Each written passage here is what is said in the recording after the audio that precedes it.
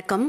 நம்ம இப்போ இந்த வீடியோவில் என்ன பார்க்க போகிறோம் அப்படின்னா departmental அக்கௌண்டிங்கில் ready book problem number three and four தான் நம்ம இப்போ இந்த வீடியோவில் பார்க்க போகிறோம் எஸ் ப்ராப்ளம் என்னன்றதை பார்க்கலாமா?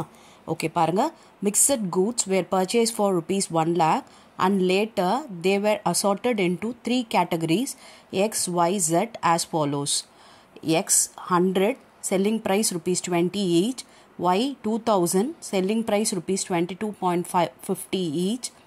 Z 2400 selling price rupees 25 each. All categories each the same rate of profit.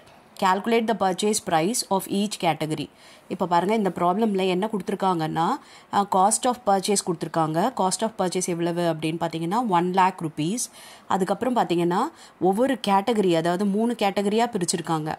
Okay அந்த எக்ஸ் கேட்டகரியில் தௌசண்ட் யூனிட்ஸ் இருக்குது அண்ட் ஒயில் டூ தௌசண்ட் ஜெட்டில் டூ தௌசண்ட் ஃபோர் ஹண்ட்ரட் அது ஒவ்வொன்றுத்துக்கும் செல்லிங் ப்ரைஸ் என்னன்றதை கொடுத்துட்டாங்க.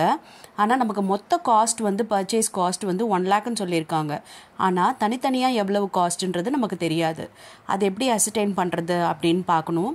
ஓகே அதுக்கு பார்த்தீங்கன்னா செல்லிங் ப்ரைஸ் முதல்ல வந்து கண்டுபிடிச்சிட்டு இந்த மூணுத்துக்கும் அண்ட் அதுலேருந்து பர்ச்சேஸை நம்ம மைனஸ் பண்ணோம் அப்படின்னா நமக்கு ப்ராஃபிட் கிடச்சிரும் இல்லையா?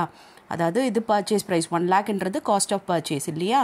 அப்போ அந்த காஸ்ட் ஆஃப் பர்ச்சேஸை வந்து நம்ம சேல்ஸ்லேருந்து மைனஸ் பண்ணிட்டா நமக்கு வர்றது ப்ராஃபிட் ஓகே அப்போ அந்த ப்ராஃபிட் மார்ஜின் என்ன அப்படின்றத கண்டுபிடிக்கணும் பர்சன்டேஜ் ப்ராஃபிட் மார்ஜின் கண்டுபிடிச்சிட்டோன்னா காஸ்ட்டோட பர்சன்டேஜ் என்ன அப்படின்றத பார்த்துட்டு அண்ட் இந்த ஒவ்வொரு ரேட்லேயும் நம்ம அதை வந்து கால்குலேட் பண்ணோம் அப்படின்னா ரேட் பர் யூனிட் கிடச்சிரும். பர்ச்சேஸ்ட் ப்ரைஸ் வந்து ரேட் பர் யூனிட் நமக்கு கிடச்சிரும். அப்போ அதை யூஸ் பண்ணி நம்ம பர்ச்சேஸ் வந்து எவ்வளோன்றதை கண்டுபிடிக்கலாம். எஸ் இப்போ முதல்ல செல்லிங் ப்ரைஸ் மொத்தம் மூணுத்துக்கும் சேர்த்து எவ்வளவு அப்படின்றத கண்டுபிடிக்கலாம். எஸ் இப்போ யூனிட்ஸ் எழுதிக்கலாம் first thousand two thousand two thousand four hundred பார்த்தீங்கன்னா twenty twenty two point five twenty five இப்போ இதை மல்டிப்ளை பண்ணிக்கலாம். Thousand into twenty two thousand into twenty two point five two thousand four hundred into twenty five okay இப்போ இது எல்லாத்தையும் add பண்ணோன்னா one lakh twenty five thousand வருது sale price X Y Z மூணுத்துக்கும் சேர்த்து. அதே மாதிரி மூணுத்துக்கும் சேர்த்து பர்ச்சேஸ் ப்ரைஸ் எவ்வளோன்னு பார்த்தீங்கன்னா ஒன் லேக் அப்போ நமக்கு வந்து ப்ராஃபிட் எவ்வளவுன்னு பார்த்தீங்கன்னா டுவெண்ட்டி ஃபைவ் தௌசண்ட் அப்போ இந்த டுவெண்ட்டி ஃபைவ் தௌசண்ட்ன்றது சேல் ப்ரைஸில் எவ்வளோ பர்சன்டேஜ்னு கண்டுபிடிக்கலாம். ஓகே எவ்வளோ மார்ஜின் பார்த்தீங்கன்னா மூணுத்துக்கும் சேம் தான் மார்ஜின் சொல்லியிருக்காங்க பாருங்கள் all categories yield the same rate of profit rate of profit வந்து எல்லாத்துக்குமே சேம்னு சொல்லிட்டாங்க. அப்போ twenty five thousand divided by one lakh twenty five thousand into hundred போட்டோம்னா டுவெண்ட்டி பர்சன்டேஜ் வருது. அதாவது க்ராஸ் ப்ராஃபிட் ஆன் சேல்ஸ் பார்த்தீங்கன்னா டுவெண்ட்டி பர்சன்ட் வருது. சரியா? இப்போ இந்த டுவெண்ட்டி பர்சன்ட்ன்றது க்ராஸ் ப்ராஃபிட்டோட ரேஷியோ பர்சன்டேஜ் இப்போ நமக்கு காஸ்ட் எவ்வளவு அப்படின்னு பார்த்தீங்கன்னா நம்ம வந்து எப்போவுமே என்ன பண்ணிடுவோம்? சேல்ஸாக ஹண்ட்ரடாக வைப்போம் இல்லையா?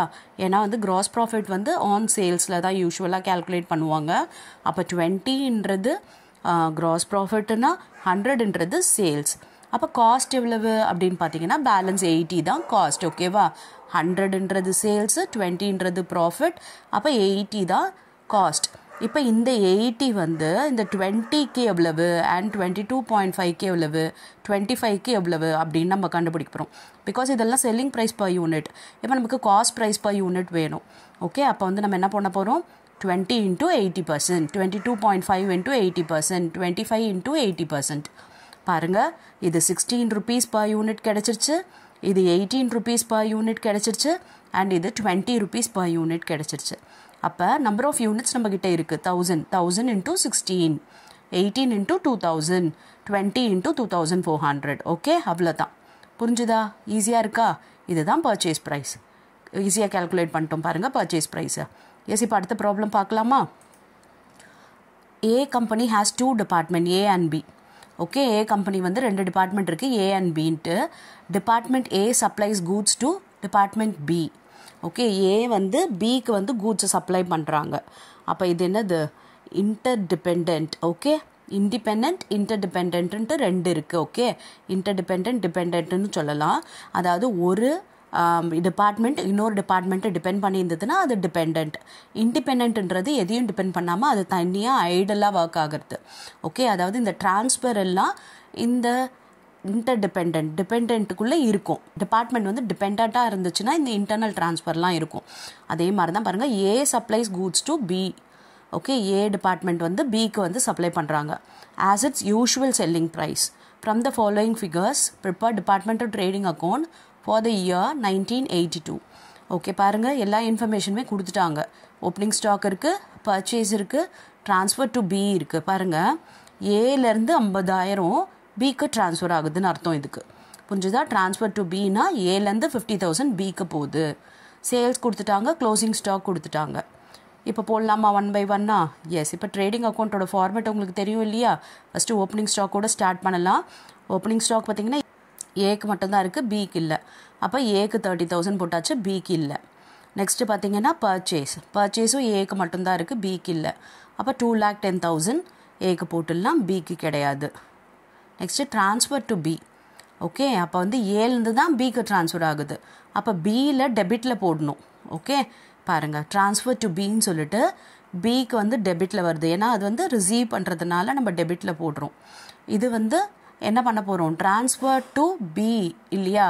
அதை வந்து ட்ரான்ஸ்ஃபர் ஃப்ரம் ஏன்னு சொல்லிட்டு நம்ம க்ரெடிட்டில் காமிக்கணும்.